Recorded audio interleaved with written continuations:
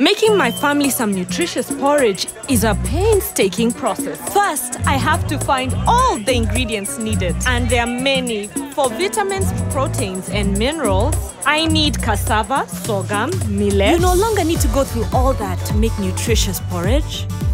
All you need is NutriPro. You don't have to go through the trouble of finding, measuring, and weighing all these vital ingredients. New NutriPro porridge flour comes fortified with 13 vitamins, proteins, and minerals. This means that you have more time to focus on what's important, giving your family the healthy start they deserve. NutriPro, bringing families together from Tropikal brands.